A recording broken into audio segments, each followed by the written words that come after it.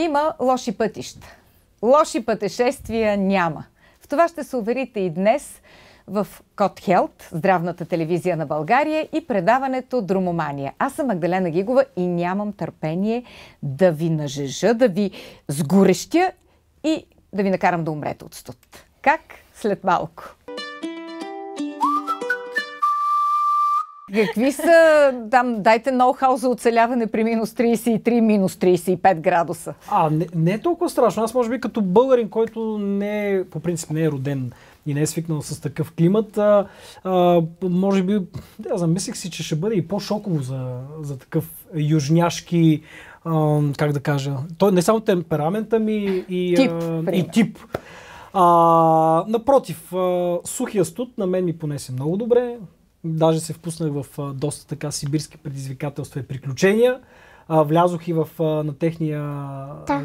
Не, той е, да, на руското крещение на 19 януари влязох в а, ледените води на тяхната река Чумиш. Те режат един огромен къс лед, защото всичко е в лед, ясно е, да. е, за да се стигне до, до водоема а, там три потапения и ходихме в тайгата. Беше наистина невероятно. Приказно е, особено когато си на гости. Може би ако живееш там, или по-скоро аз, от, а, така, от моя гледна точка, а, не знам ако трябва да изкарам вече повече от няколко месеца там как ще ми понесе дългата зима, защото м- доста дълга зима, кратко лято. Чак сега, разкажи, да. моля ти се, ако обичаш, как стана това с потапянията.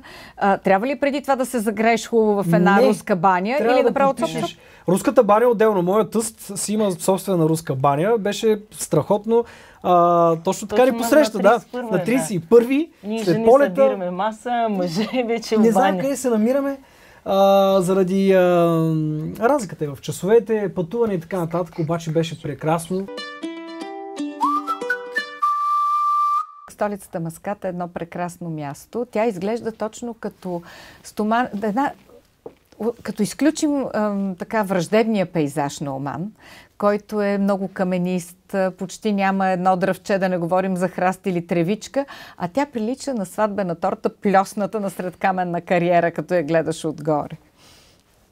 За мен не е враждебен, а е страшно мил и приветлив пейзажа, защото а, там има най-красивите камъни. Никъде в природата не съм виждала ярко лилави камъни.